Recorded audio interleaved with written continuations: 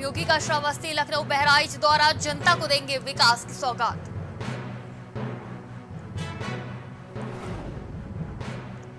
केरल में भारी बारिश से बिगड़े हालात, अमित शाह बोले हालात की कर रहे मॉनिटरिंग।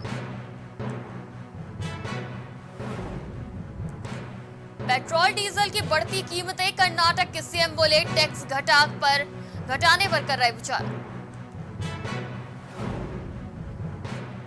दिल्ली एनसीआर में बदला मौसम का मिजाज, कई इलाकों में भारी बारिश।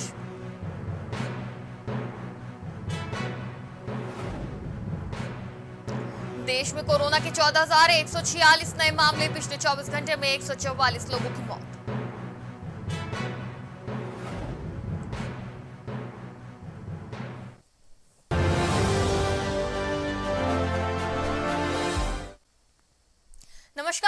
आपके साथ शिखा मेहरा, उत्तर प्राइम टीवी में आपका स्वागत है। रुक करते हैं उत्तर प्रदेश की खबरों की ओर। शनिवार को देर शाम जम्मू कश्मीर के पुलवामा में आतंकी हमले के दौरान सहारनपुर के रहने वाले सगीर अहमद की मौत हो गई। वो जिस मकान में किराए पर रहते थे, उसी में घुसकर आतंकियों ने गोलियाँ बरसाई। सगीर अहमद के पेट में गोली लगी, जिस कारण उन्हें अस्पताल ले जाने पर मृत घोषित कर दिया गया। उधर उनकी मौत की खबर मिलने पर सहारनपुर में रह रहे परिवार में मातम पसर गया। क्षेत्रीय पार्षद मंसूर बदर ने बताया कि सगीर अहमद लकड़ी की छिलाई और कटाई का कार्य करते थे। तो आतंकी हमले में सहारनपुर के रहने वाले सगीर की मौत हो गई। हादसे के बाद परिवार में शोक का माहौल है। आपको बता दें जम्मू कश्मीर के पुलवामा में ये हमला हुआ है, जिसमें मौत हो गई है और आपको बता दें कि सहारनपुर के रहने वाले थे जसगीर अहमद, जिनके पेट पे गोली लगी, जिस कारण उन्हें अस्पताल ले जाया गया, जहाँ पे डॉक्टरों ने उन्हें मृत घोषित कर दिया। उनकी मौत के खबर सुनते ही घर वालों का बुरा हाल है और ये बताया है, क्षेत्रीय पार्षद मंसूर बदर ने कि सागिर अहमद लकड़ी की छिलाई और कटाई का काम करते थे। हमारे सगीर भाई जो शहर के बहुत बेहतरीन लकड़ी के कारीगर थे, वो रोज़गार के सिलसिले में कश्मीर गए थे। और वहाँ पर आज ये हादसा पेश आया कि उनको आतंकवादियों ने गोली मार दी। जिसकी हम मदम्मत करते हैं, निंदा करते हैं और केंद्र सरकार से हम अपील करते हैं कि आतंकवादी गुट हो या पाकिस्तान हो या चीन हो खिलाफ अपना छप्पन इंच का सीना दिखाए और आतंकवाद ताजनगरी आगरा में ग्राम धनौली के ग्रामीणों ने आगरा ग्रामीण विधायक हेमलता दिवाकर को मृत घोषित कर दिया। बता दें कि ताजनगरी आगरा के जगनेर रोड स्थित धनौली और अजीजपुरा गाँव लगातार तीन दिन से गाँव की समस्या को लेकर ग्रामीण अनशन पर बैठे हुए हैं। एक दशक से ज़्यादा समय से ग्रामीण जल भराव की समस्या से जूझ रहे हैं, जिससे आक्रोशित होकर ग्रामीणों ने विधायक हेमलता दिवाकर का प्रतीकात्मक पुतला बनाकर गाँव में सड़कों पर भरे गंदे नाले के पानी में बहाया। वहीं समाज सेविका सावित्री चाहर ने रो रो कर बोला कि जनता विधायक का हेमलता दिवाकर के मृत्यु से आहत है। उन्होंने कहा, हमारे विधायक आदि ने हमारे गाँव में इतना विकास कार्य कराया है कि दिन में तारे और सड़क पर पानी नज़र आ रहा है। इसी को लेकर हम उनकी मृत्यु से आहत होकर दुखी हैं और उनके लिए दुख प्रकट कर रहे हैं।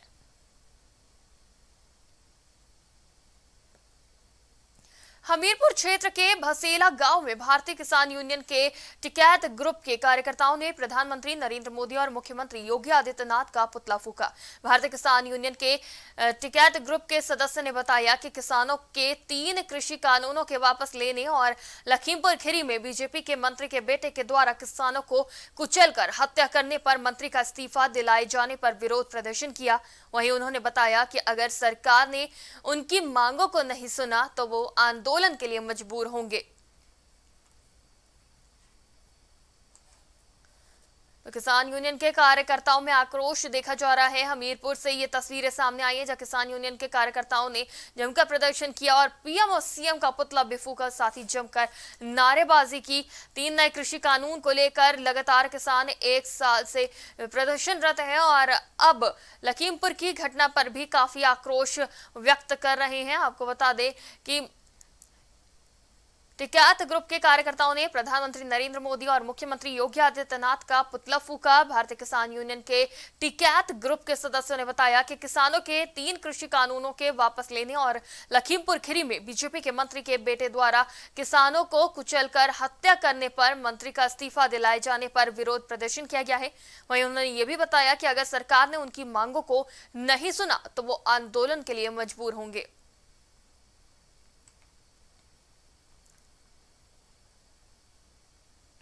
आगरा में बसपा का विशाल कार्यकर्ता सम्मेलन का आयोजन किया गया। सम्मेलन में बाबू मुनकाद अली और श्याम सुंदर शर्मा मौजूद रहे। बसपा कार्यकर्ताओं का 2022 के चुनाव को लेकर सम्मेलन का आह्वान किया गया।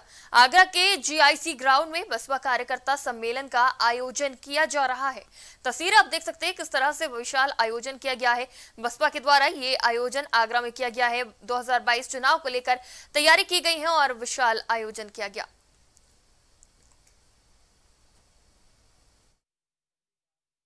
आज बहुजन समाज पार्टी के सतवाधाम में आज दक्षिण विधानसभा का एक विशाल कार्यकर्ता सम्मेलन आप देख रहे हैं, जहाँ आप खड़े हैं, वहीं होने जा रहा है। और दक्षिण विधानसभा के प्रत्येक बूथ का के सारे पदाधिकारी आज यहाँ मौजूद रहेंगे। आज इस बैठक के मुख्य अतिथि बाबू मुनकाद अली हैं, जो राष्ट्रीय महासचिव हैं, पूर्व प्रदेश अध्यक्ष रहे हैं, पूर्व राज्यसभा सांसद भी रहे हैं, और आगरा, अलीगढ़, फैजाबाद औरैया जनपद के अचलदा थाना क्षेत्र के देवरिया ग्राम में एक लड़की ने आत्महत्या कर ली। बता दें कि दो चचेरी बहन घर से सब्ज़ी लेने निकली थी, लेकिन अज्ञात कारणों के चलते दोनों बहनों ने आत्महत्या करने का प्रयास किया। वहीं रेलवे ट्रैक पर एक की ट्रेन से कटकर मौत हो गई। वहीं एक घायल बताई जा रही है। सूचना पाकर मौके पर पहुँचे परिजनों ने बताया कि घर में किसी ने भी इन दोनों को ना तो डांटा और ना ही कोई बात हुई। फिर इतना बड़ा आत्मघाती कदम क्यों उठाया, ये ये परिजनों के लिए अभी भी बहुत बड़ा सवाल है। भाव है ना एक्सीडेंट तो ये दोनों सहेली सहेली तो आती? तो ये दोनों ऐसे? ऐसे पड़ी है। दोनों कैसा पता तो फ़ोन लगाओ ना ये लड़की ने फ़ोन बताओ नंबर अपने घर में फ़ोन करो। फिर फ़ोन अपने घर में करके फिर हमारे पास बात कराना ही वो।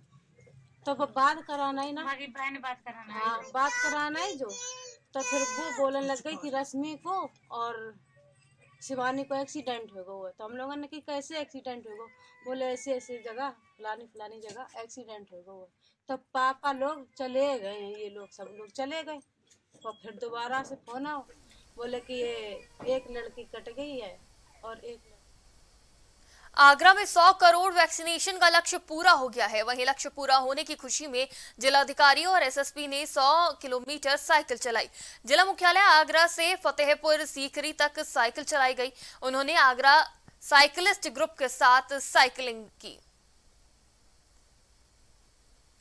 तो वैक्सीनेशन, यानी कि 100 करोड़ वैक्सीनेशन पूरे होने पर खुशी का माहौल देखा गया है। आपको बता दें कि साइकिलिंग कर खुशी ज़ाहिर करी गई है और डीएम और एसएसपी ने 100 किलोमीटर साइकिल चलाई, वो भी साइकिलिंग ग्रुप के साथ।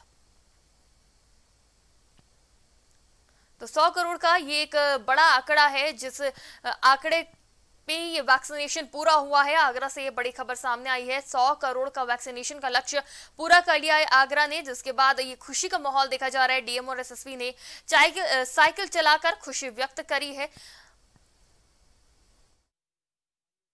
हम और डीएम साहब एक, आज साइकिल रैली चला रहा है, जो हमारा भारत में वैक्सीनेशन ड्राइव चल रहा है, कोरोना वैक्सीनेशन का।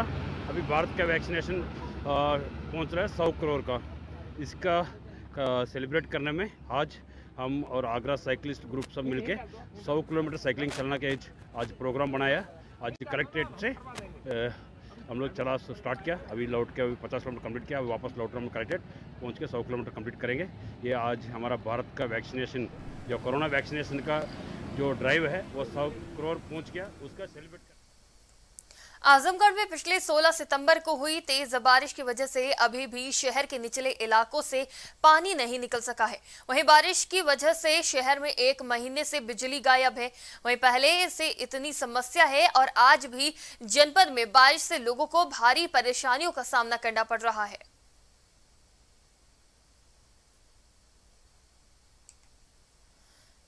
आजमगढ़ से ये तस्वीरें सामने आ रही हैं, जहाँ बारिश की वजह से लोगों को काफ़ी दिक्कतों का सामना करना पड़ रहा है, जहाँ शहर के कई इलाकों में महीनों से बत्ती गुल है। तो वहीं अब एक बार फिर बारिश दिक्कतें बढ़ाती हुई नज़र आ रही है। तेज बारिश हो रही है, जल जमाव अभी भी है, कई जगह से अभी भी पानी नहीं निकला है। वहीं अब एक बार फिर पानी बरस रहा है, जिसकी वजह से लोगों को काफ़ी दिक्कतों का सामना करना पड़ सकता है। और यहाँ पर नगर निगम की भी पोल खुलती दिख रही है, जिस तरह से पानी भरा हुआ है जल जमाव है और दूसरी तरफ़ बीमारियों का मौसम भी है और साफ़ सफ़ाई नहीं है और बिजली भी गुल हो रही है तो ये एक बड़ा सवाल खड़ा करता है कार्यशैली पर। मामला फतेहपुर जनपद के थाना बिंदकी का है, जहाँ बदमाशों, पुलिस और एसओजी टीम के बीच मुठभेड़ हो गई, जिसमें दो अभियुक्तों को गोली लगी है। वहीं घायलों को इलाज के लिए अस्पताल भेजा गया है। मुठभेड़ के दौरान एक आरोपी भागने में कायम रहा तो वहीं आसपास के क्षेत्र में कॉम्बिंग की जा रही है।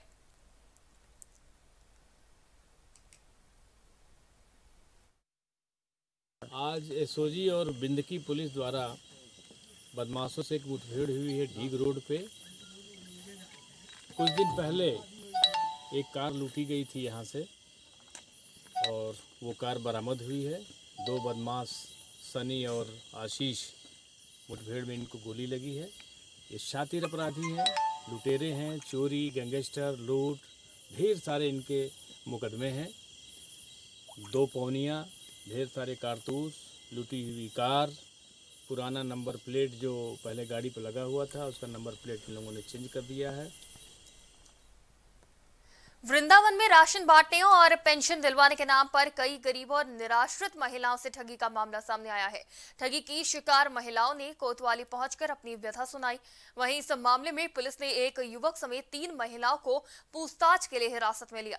बताया जा रहा है कि किशोरपुर धोबी गली स्थित एक मकान में शनिवार को सुबह से ही बड़ी संख्या में महिलाओं का जमावड़ा शुरू हो गया था, जिसमें से ज़्यादातर उम्र महिलाएँ थी। इतनी बड़ी संख्या में महिलाओं की आवाजाही पर जब क्षेत्रवासियों ने जानकारी की तो ये मामला सामने आया। उस वक्त कुछ लोग राशन बांटने और पेंशन दिलाने के नाम पर गरीबों और निराश्रित महिलाओं से आधार कार्ड, फ़ोटो और डेढ़ सौ रुपए वसूल लेते थे। वहीं हंगामे की सूचना पर पहुँची पुलिस ने एक युवक समेत तीन महिलाओं को थाने ले गई, जहाँ पर इन पर पैसा वसूलने और आरोप लगा रही महिलाओं ने थाने में भी नारेबाजी करते हुए उनसे पैसा दिलवाने की मांग की है। पुलिस मामले की जाँच में जुट गई है।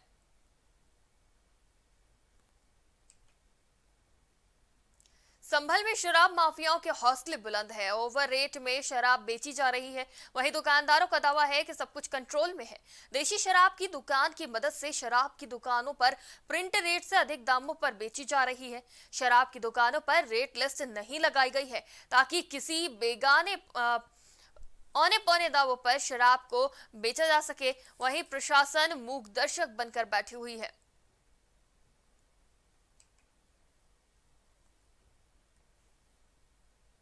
खबर अयोध्या से है, जहाँ संदिग्ध परिस्थितियों में युवक का शव भरत कुंड सरोवर में तैरता हुआ मिला। युवक का शव मिलने से इलाके में हड़कंप मच गया। युवक की पहचान सूरज मिश्रा के रूप में हुई है। बता दें कि मृतक युवक सुल्तानपुर जनपद के कटका खानपुरा का रहने वाला है। सूचना मिलने पर मौके पर पहुँची चौकी प्रभारी भदरसा विनय कुमार सिंह ने शव को कब्जे में लेकर जाँच में जुट गई है पुलिस।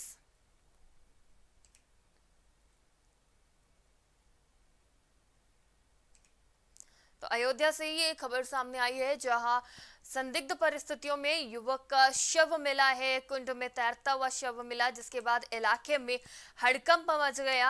आपको बता दें कि व्यक्ति की पहचान कर ली गई है। सूरज मिश्रा के रूप में इस व्यक्ति की पहचान की गई है। मृतक युवक सुल्तानपुर जनपद का रहने वाला है और सूचना मिलने पर चौकी प्रभारी पहुँचे, साथ में पुलिस का दल भी पहुँचा, जिसने एक शव को कब्जे में लेकर पोस्टमार्टम के लिए भेज दिया है और आगे की जानकारी और जाँच में जुट गई है। बुलंदशहर के तहसील सिकंदराबाद के गाँव दुल्हेरा में मामूली सी बात पर जमीनी विवाद के चलते दो पक्षों के बीच खूनी संघर्ष हो गया, जिसमें दो महिलाओं समेत पाँच लोग घायल हो गए। दोनों पक्षों के लोगों ने एक दूसरे पर जमकर लाठी डंडे और तेज धारदार हथियार से वार किया। वहीं इस विवाद में एक पक्ष के तीन जबकि दूसरे पक्ष के दो लोग घायल हो गए हैं।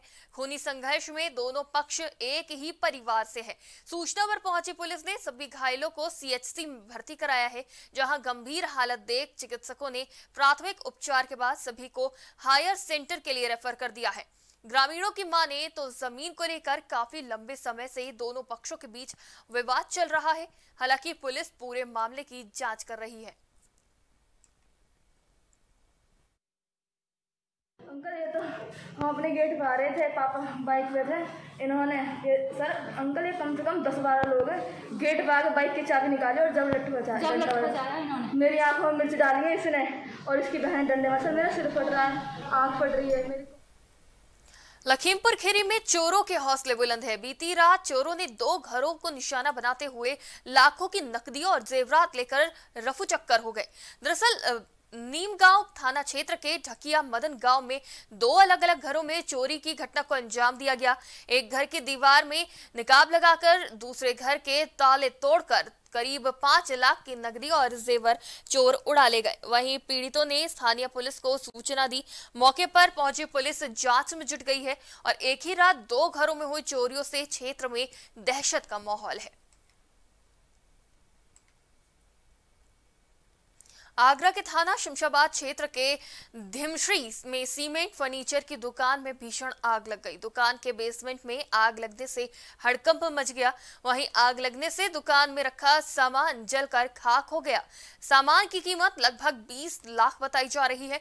वहीं मौके पर पहुँची फायर ब्रिगेड की कर्मचारियों ने आग पर काबू पाया।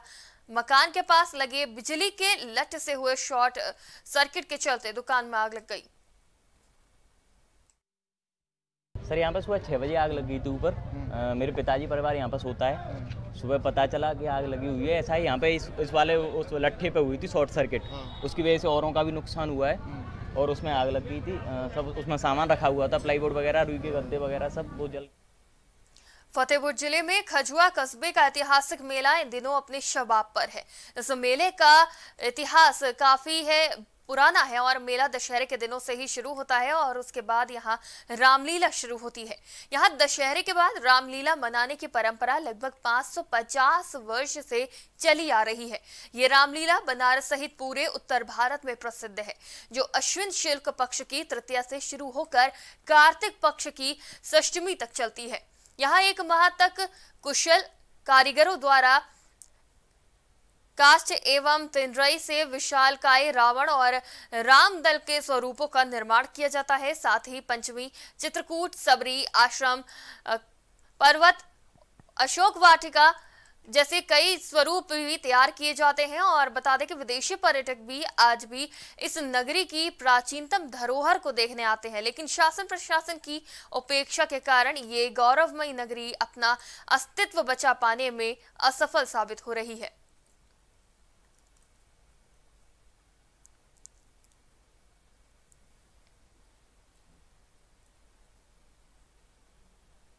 उत्तर प्रदेश की खबरों में फ़िलहाल इतना ही। आप देखते रहिए प्राइम टीवी।